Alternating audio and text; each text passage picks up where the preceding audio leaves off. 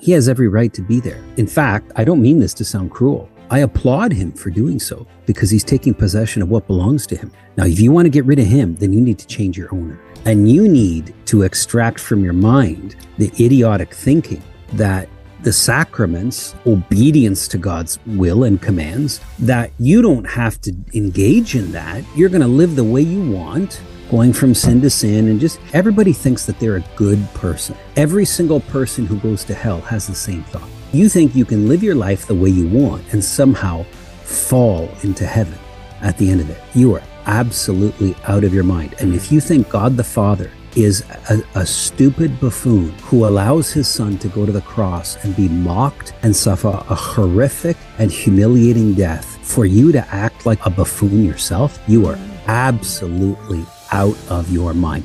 You have the wrong God, friend. And you need to get with the right God.